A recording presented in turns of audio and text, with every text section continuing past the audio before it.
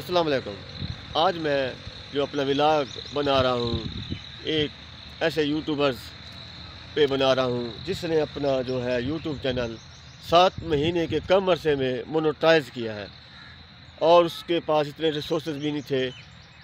वो रहता भी मेरे शहर में है, इसलिए ये मुमकिन हुआ है कि मैं उनसे आपको मालूम लेके दूँगा और उनका इंटरव्यू लेते हैं। आज मेरे, हमारे साथ वो मौजूद हैं। उनसे बाकी सारा सवाल पूछते हैं। उनका चैनल है दिल भर ऑफिशियल पी के उन्होंने चैनल अपना मोनोटाइज किया है सात माह के कम अरसे में। बाकी मालूम तो वो ख़ुद ही देंगे, क्योंकि मेरी जो है उनसे जो है यूट्यूब पे कमेंट्स के ज़रिए बात होती थी। आज उनको मैंने फ़ोन किया तो वो आए हैं और उनसे जो है तफसीली बात आपको करवाते हैं और उनसे सवाल पूछते हैं, वो आपको जवाब देंगे।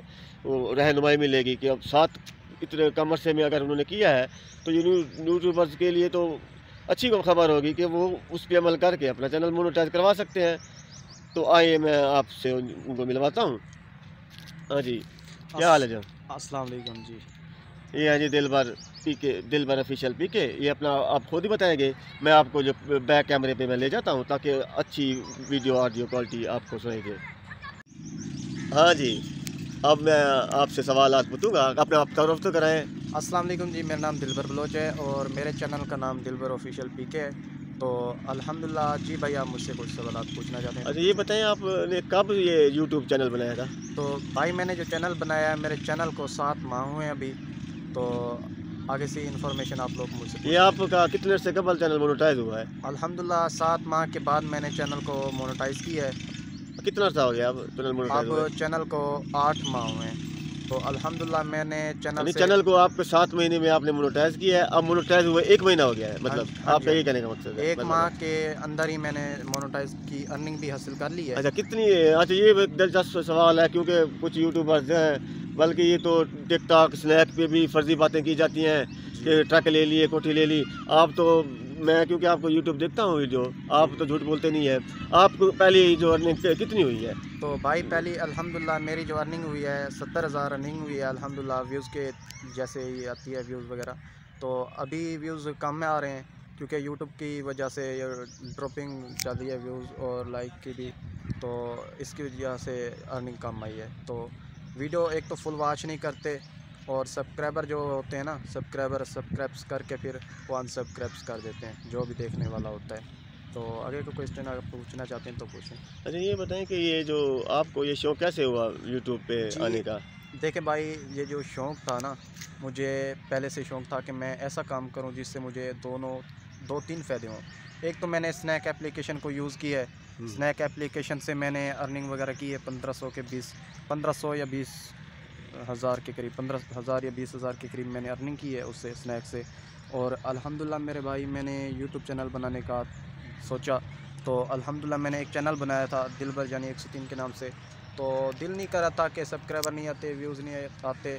तो फिर मैंने उसको छोड़ दिया था। मैंने न्यू चैनल बनाया, दिल भर ऑफिशियल पी के नाम से। तो इस चैनल पे मैंने बहुत ही मेहनत की है। मैंने कहा, क्यों ना इस चैनल को बनाता हूँ और इस पर अर्निंग वगैरह भी इन हासिल करूँगा। तो अल्हम्दुलिल्लाह मैंने ऐसे तरीक़ेकार है कि मैंने अपने चैनल को सात माह के अंदर कंप्लीट कर लिया।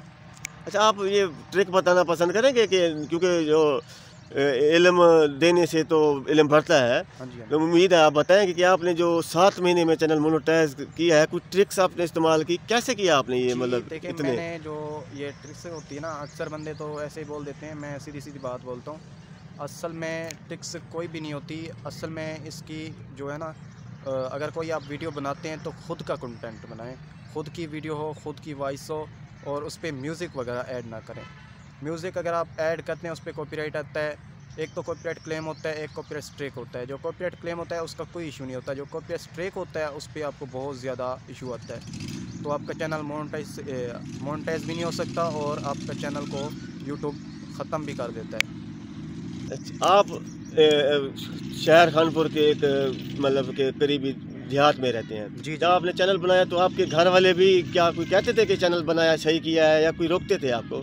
जी देखें भाई मेरे भाई बोलते थे कि आप चैनल को ना ही चलाएँ क्योंकि चैनल पे जो ना आप ऐसे ही टाइम वेस्ट कर रहे हैं।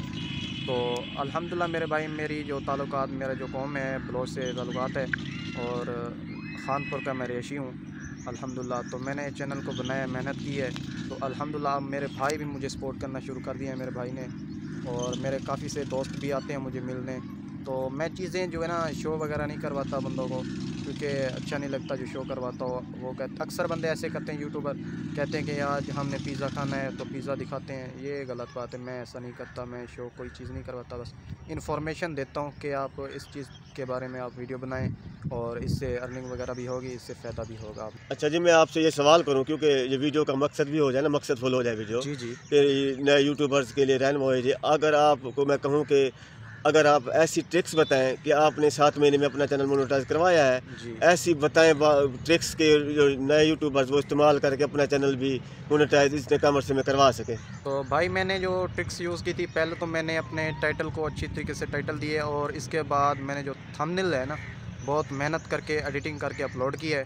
तो थंबनेल को भी एडिटिंग करके अच्छी तरीके से अपलोड करना चाहिए ताकि आपका जब कि थंबनेल अच्छा होगा तो लोग ही आपके पास जल्द से जल्द भागे आएँगे आप अक्सर वीडियो देखते हैं चाहे जैसी भी होती है ना गिचली मिचली तो फिर भी बंदे आ जाते हैं वो थंबनेल के ज़रिए आते हैं क्योंकि थंबनेल जिसका अच्छा होता है तो ऐसे ही होता है सब कुछ। अल्हम्दुलिल्लाह मैंने थंबनेल पे बहुत मेहनत की है तो अल्हम्दुलिल्लाह मेरा चैनल मोनेटाइज भी हो चुका है अर्निंग भी ले रहा हूँ।